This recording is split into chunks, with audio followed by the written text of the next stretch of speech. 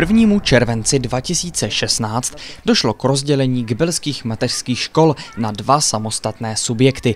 Mateřská škola Albrechtická i Letců budou fungovat samostatně a budou mít každá své vedení. Hlavním důvodem rozdělení eh, subjektu mateřské školky byly bylo velký počet dětí, eh, oddělené dvě, dvě budovy eh, téměř po kilometru, to znamená ta, to řízení jednak i toho kolektivu, i, i těch školek bylo pro současnou ředitelku už, už dost náročné. Jako ředitelka mateřské školy Albrechtická byla po konkurzu jmenována Lada Lajblová, dosavadní zástupkyně ředitelky.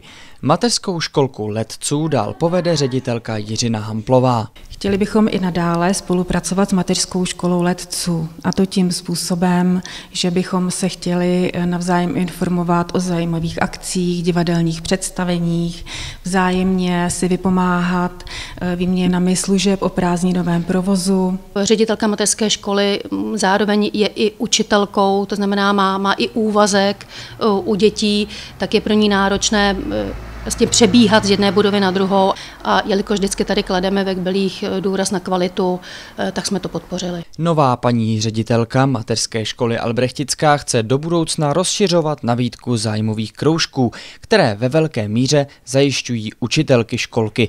Dále má v plánu podporovat profesní rozvoj pedagogů a třeba i vylepšit školkový web. Chceme průběžně zjišťovat spokojenost rodičů s mateřskou školou a reagovat na jejich náměty a připomínky ke zlepšení. Eh, dále chceme pořádat pro rodiče odpolední dílny, eh, eh, besídky, různé akce na zahradě mateřské školy. I letos se obě mateřské školky střídají v prázdninovém provozu.